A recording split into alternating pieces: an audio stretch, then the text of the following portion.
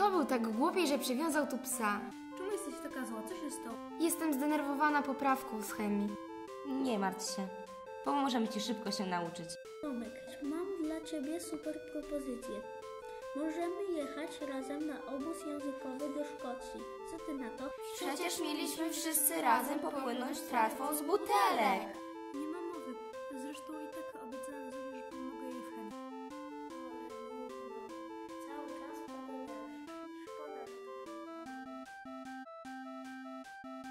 Patrzcie, jaki wielki, piękny ptak.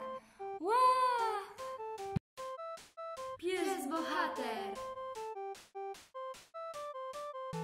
Widzisz, Zuzia? Się. No i jak było w Szkocji?